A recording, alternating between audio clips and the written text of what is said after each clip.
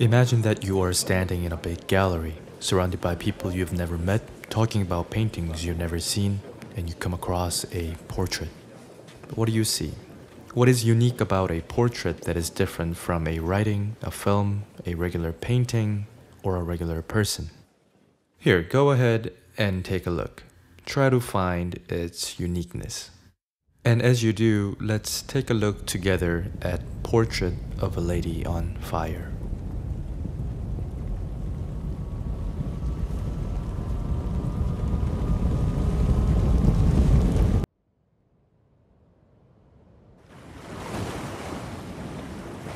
We're in France, 1760. We see a young woman named Marianne who will soon be revealed to be a painter commissioned to paint a wedding portrait of a young aristocrat lady named Eloise. Simple enough, except Eloise doesn't want to get married and has been refusing to be painted.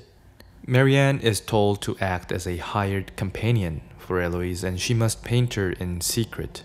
And in doing so, the two start to realize that they may be in love. So the film is about love, but there is something very different about this tale of love that sets itself apart from the other love stories, in that the film deals with a relationship between two women, and more specifically that of an artist and her muse. There's always a subtle yet profound energy shared between a painter and his or her subject of interest. And this found energy is not a coincidence. In fact, it's a prerequisite. This energy usually mirrors a tension that can be found in romantic partners because the formed bond between the two must be genuine and significant. This work of art can only be accomplished through collaborative means. An artist's skill can never be enough. The subject must understand the intent of the work and be as artistic and precise, if not more, than the artist who does the painting. And if the work process is prolonged like it is for Marianne and Eloise, the two relationships they share, that of a romantic partner and that of an artist and a subject, is bound to go hand in hand. And we are given a privilege to watch the two mirroring relationships as a single connection, perceiving it as something new and unprecedented. In fact, this is exactly what we're challenged to do in this film, to catch all acts of art. Let's give it a try. The very first thing we witness is an unfinished portrait done by an unknown artist. There's no connection and no insight yet to who the house lady may be, and that's precisely the level of acquaintance the previous artist achieved faceless. At first, driven by the weight of her task, Marianne too is quick to only focus on the subject's features based on the conventional rules of painting. The conversation the two share is generic and unmotivating, the sketches are careful, like Marianne is careful hiding her true identity, and the stares the two women give are uncoordinated and disconnected, just like Marianne's attempt at Eloise's portrait is scattered and separated. And Marianne already knows that something is not quite right, yet she is still moved primarily by her goal. The conversation, although progressively more heartfelt, still yields a predictable outcome. Marianne always ends up delivering lines that are guided by her own guilt and objectives, instantly cutting the sincere connection that could have been. She tells Sophie, the maid, that she still needs to see Eloise smile. It's not that she will be forced to paint Eloise with a big smile, but it simply implies the nature of the art we are dealing with. She must have everything first before choosing one. Without knowing all about the subject, the painting becomes lifeless, and as an artist, Marianne doesn't wish that, to create something that isn't her.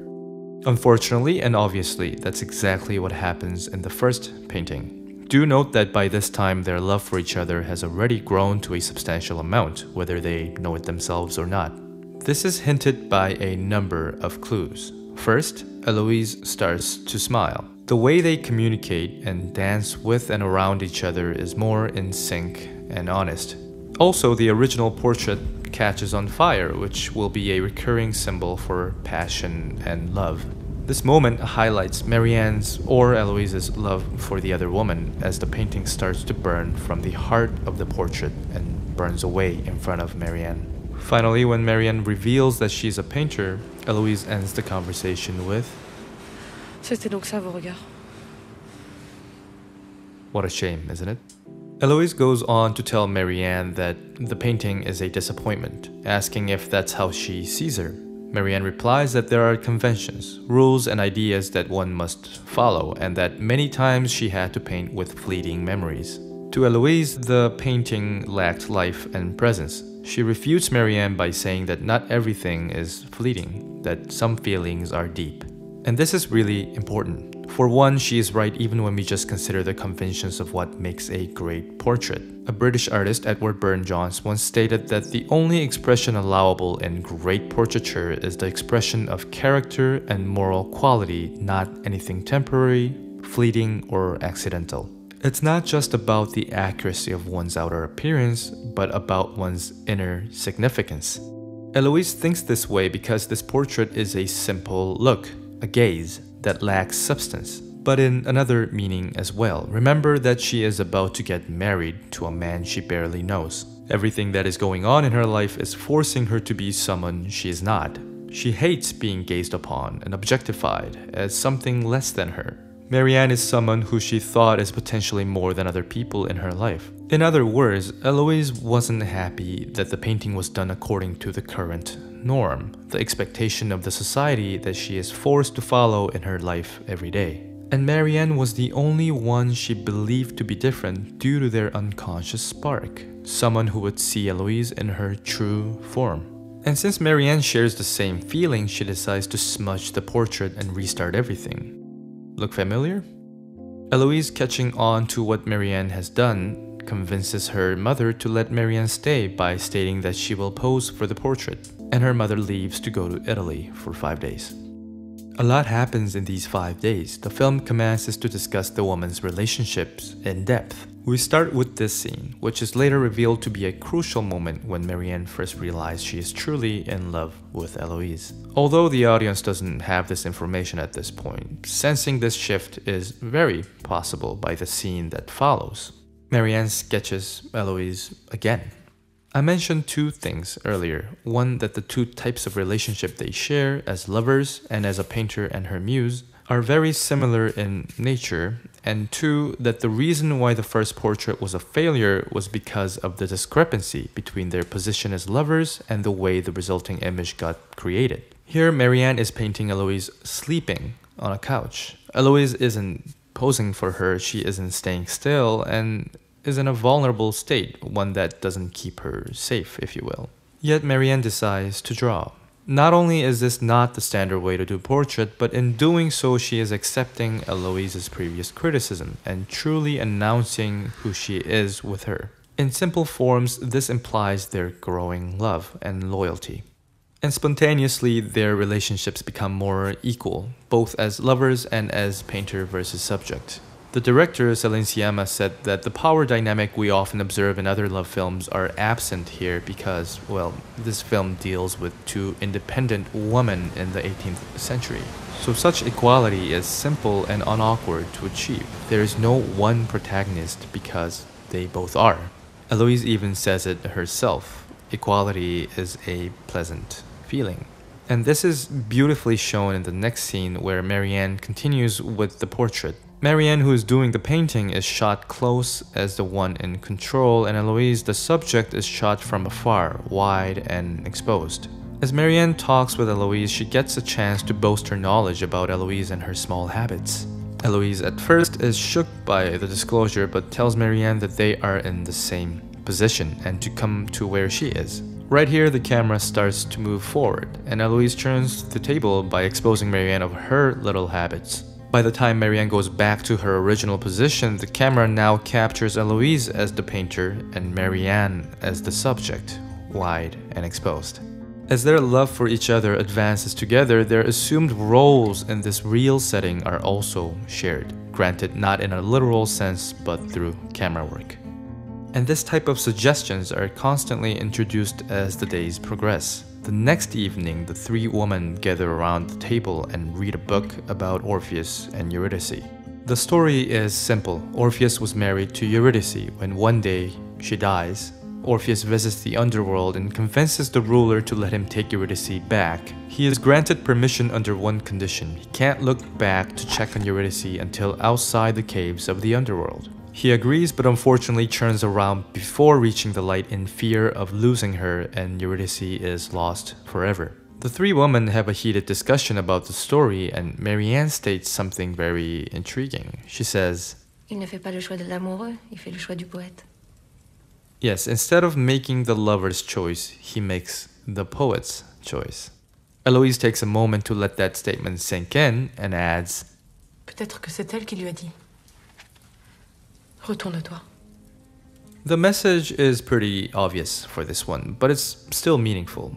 Marianne, who literally crossed the ocean to get to Eloise, can be seen as Orpheus. The scene is foreshadowing that although Marianne came as a savior to take Eloise out of her doomed destiny that is the upcoming marriage, she will end up with a poet's choice to keep Eloise in her memory by leaving alone. In fact, later in the film, Marianne constantly turns around at night to see Eloise in her wedding dress just fade away. This idea haunts her throughout. And at this point, some may ask how she sees the actual dress in advance. Well, remember that this whole story is a retelling from Marianne's memory. It only makes sense as this will soon turn out to be the last image of Eloise she sees before departure. And what Eloise adds at the end suggests that it'll actually be her who eventually convinces Marianne to choose that path. That she knows she will get married and that Marianne will go her way because she agrees with the poet's choice as well but more on that later. With the rather depressing idea, the film moves on to one of the most memorable scenes of the entire film. They're at a bonfire with other women. The woman starts singing in harmony, the song is meticulous and thrilling. Marianne and Eloise stare at each other, this time with perfect coordination. Everything in this scene is symbolic, with the sole purpose of demonstrating their leap of faith, regardless of their foreseeable outcome. The song evolves as new pair of women join in on the choir and the scene intensifies together, reflecting Marianne and Eloise's state of mind. As the woman choir accompanies the two into their daring journey of love, there is a big fire between the two. This is similar to the previous scene of the original portrait catching on fire, except this time the fire is bigger and more open. So much so that Eloise actually catches on fire literally, and Marianne runs toward her to help as Eloise pulls her, and the scene dramatically transitions into the start of their actual days as romantic partners. It's a stunning scene that illustrates the most pivotal moments of the film without any in your face exposition. As their love becomes very overt, the film decides to put Sophie in between the two to keep the spirit fresh and fascinating. What Sophie is, is a good friend, a contrasting image from the lovers we've been following. This allows the audience to see how powerful their love story is and at the same time to be able to understand this unusual dynamic and to realize that there is a beauty and force to all relationships these women have, whether that is of love or of companionship. And with yet another painting scene, we see a magnificent idea of equalization of woman as the maid, the painter, and the lady all come in equal stances in this specific incident. To jump to conclusions, in a way, it's unfortunate since their fate as lovers are somewhat tragic at the end, and especially compared to how powerful the female union under friendship could be, it's even more heartbreaking, but that may exactly be the point.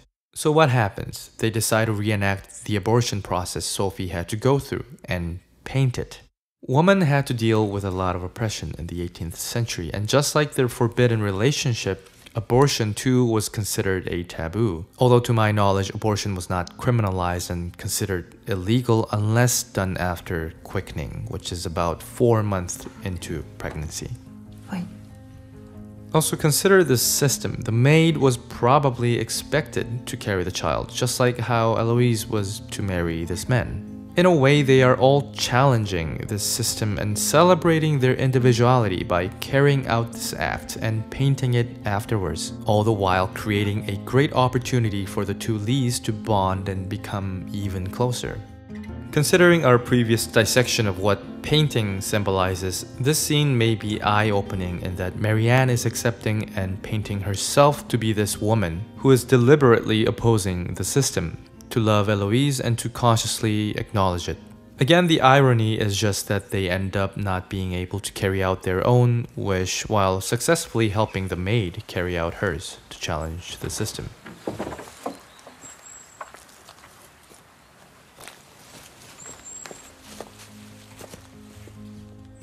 Similarly, the first portrait was done according to the rules, which Eloise described as lacking life of any form. So they paint this picture, which is not a norm, but reality. The face of woman exactly how Eloise wished her portrait to be. True. With these build-ups, the film finally sums itself up with literally visualizing both women taking the role of the painter together and finishing the portrait. The second portrait is more satisfying for both of them. For Marianne, because she sees herself in this portrait of Eloise. For Eloise, it's the same. It's no longer an objectification, but rather a gesture for love. A beautiful means to which they can remember and love each other. As they gaze into this painting, they can recall this time. On the last day, Marianne sketches drawings of each of them to remember each other. Eloise here, and Marianne here in the book. The mother arrives and it's time for them to say goodbye. Overwhelmed with emotion, Marianne turns and runs downstairs, keeping herself from crying. As she opens the door to leave, Retourne-toi.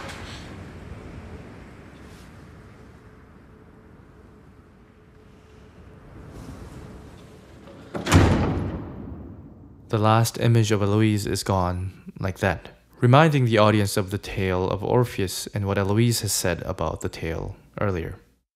In a way, this is one ending to the film, but the work goes on, showing Marianne in present time as a successful painter, witnessing Eloise's new portrait on the wall. As Marianne stares at the painting, she recalls her time with Eloise. Although they both are staring at each other, one is a portrait stuck in time, physically absent for a connection. But the camera zooms in and captures the page number of Eloise's book as 28, the page Marianne used to sketch herself on their last day. With this, she now knows that Eloise sees her back through memory, and beyond time and space, they are in fact truly connected. The last scene of the film has Marianne entering a concert hall and finding Eloise. The orchestra plays Presto from Vivaldi's Summer, which is something Marianne played for Eloise back in the day. As Eloise listens to the music, she too recalls her memory with Marianne, who is stuck in the past in the form of a musical melody. They are once again truly connected.